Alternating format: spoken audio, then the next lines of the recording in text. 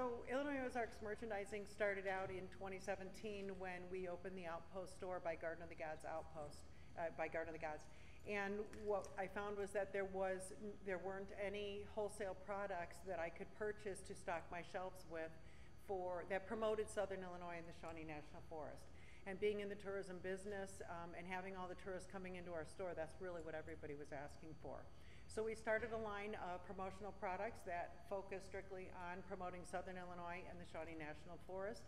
The concept being if we can provide um, mementos or souvenirs that tourists who come to our area, if we can provide them with something that they can take home to remember their vacation, it can hopefully start more conversations. If more people can start talking about Southern Illinois and all that we have to offer here, then really everybody wins because that increases tourism.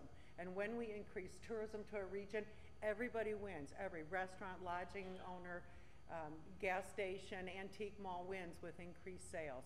So the concept is to get the word out and let everybody know what an amazing place we have here in Southern